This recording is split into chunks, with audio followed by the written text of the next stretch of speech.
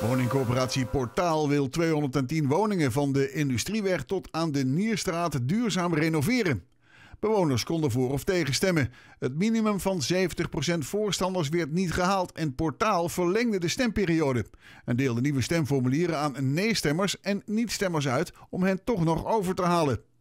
De geuite kritiek van de klankbordgroep Willemskwartier is niet mals. Uh, het probleem is dat uh, Portaal, de woningcorporatie, een renovatievoorstel heeft gedaan om deze woningen gasloos te maken en nul op de meter. Dat wil zeggen dat er uh, evenveel zonne-energie wordt geproduceerd als dat je verbruikt in een jaar tijd. En dat ze dat op een hele verkeerde manier hebben gedaan, althans volgens een hoop bewoners. En de mensen werd van alles beloofd. Ja, en dan zeggen, hebben wij op de vergadering ook gezegd van... Ja, maar jongens, we zijn met godsnaam mee bezig geweest, eerlijk. Portaal is van het begin af aan, en de BAM ook, niet eerlijk tegen ons geweest. En dat stoort mij.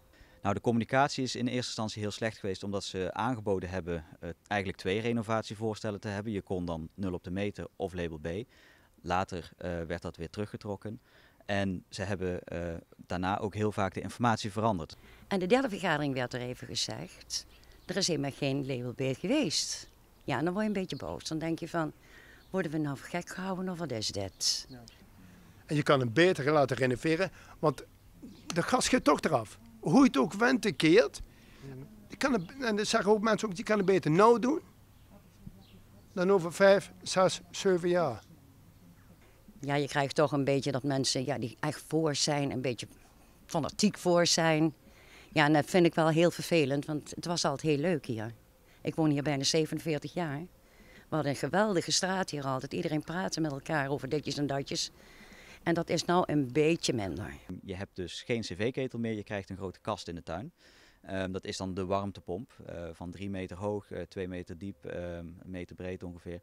En dat zorgt ervoor dat je dus uh, ja, gewoon een heel ander huis krijgt en dus ook anders gaat leven. Ik heb, ben geschrokken van die kast toen ik het zag. Hij is best groot. Ja. Dus eigenlijk wordt je terras helemaal in tweeën gesplitst. Ja. En ze zeggen over respectloos. Dat betalen, dat vinden ze respectloos. Dat mag wel. Ik vind respectloos hoe jullie die mensen behandelen. En bepaalde dreigementen. Er, loopt een vrouwtje hier door de eh, Schipbeekstraat van betaal. Het enige wat ze doet is briefjes geven. En dat is uh, nog een mevrouw van de klankgroep in de Schipbeekstraat. En die gaat gewoon zo klappen en haar uitlachen. Is dat niet respectloos? Dat vind ik wel.